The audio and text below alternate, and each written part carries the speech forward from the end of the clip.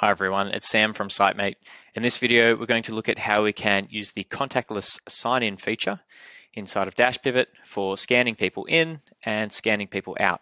For example, on a visitor attendance sheet. Um, this type of thing is traditionally done on paper. Um, you might be familiar with a, a table that looks somewhat like this, where you've got uh, each person's name and you're trying to capture their sign-in time and their sign-out time. Um, this is the old way of doing it uh, on paper, which is quite slow, uh, and the records are sometimes hard to read uh, or search. And with Dashpivot, there's a different way of doing it. Uh, we actually have a QR code scanner option inside of Dashpivot, which allows you to scan the digital ID of any worker that has a Sitemate ID uh, profile set up. So we have a Sitemate app which is free. Uh, any worker can download it and set themselves up with a free uh, digital ID card.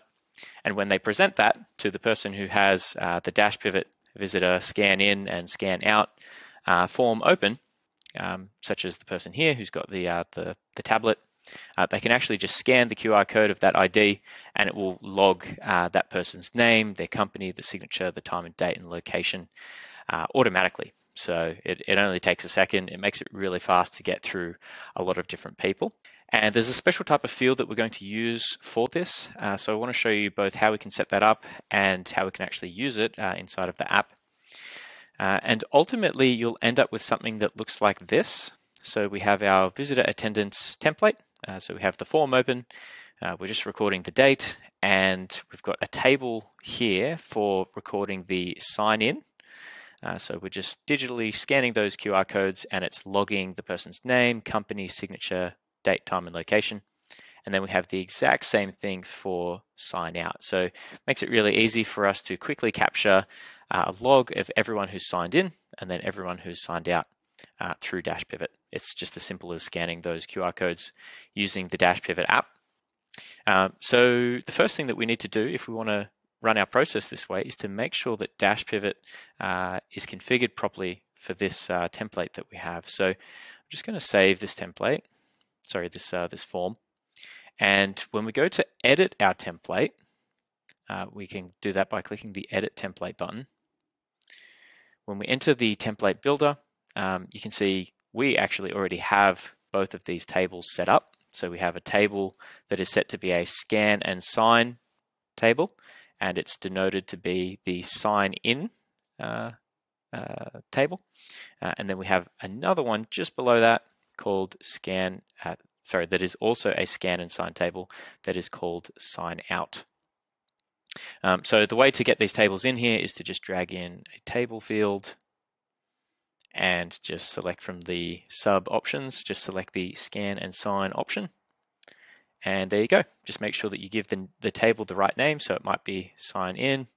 And then if we duplicate this field, we can then create one called sign out and then save the template. And that's all that you have to do.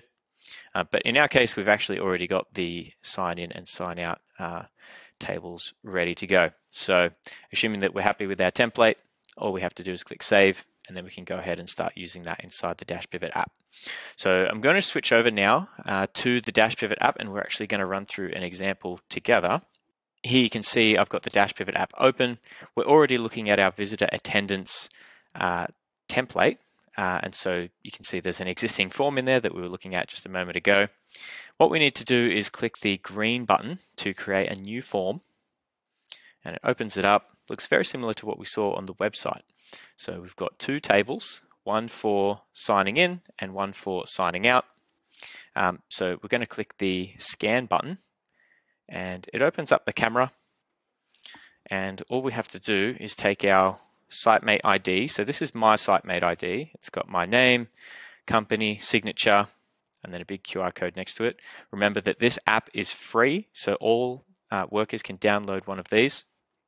And then if we just present it in front of the uh, in front of the app, you can see that if we put the QR code inside of the white box, then it actually reads the QR code and scans that on. Um, what's good about it is that it works from all different angles. So I've actually got another ID here from a different person. I can use it from a different angle and you can see it also scans them on. Um, so that's great. So once we've done those scans, we just need to click done.